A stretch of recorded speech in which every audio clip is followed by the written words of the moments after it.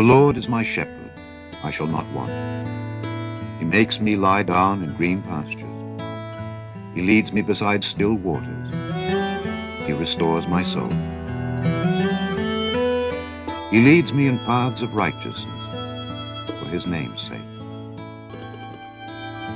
Even though I walk through the valley of the shadow of death, I fear no evil, for thou art with me.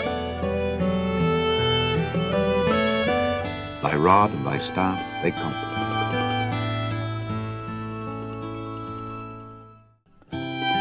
Thou preparest a table before me in the presence of my enemies.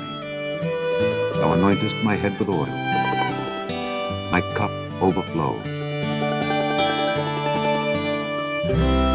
Surely goodness and mercy shall follow me all the days of my life. I shall dwell in the house of the Lord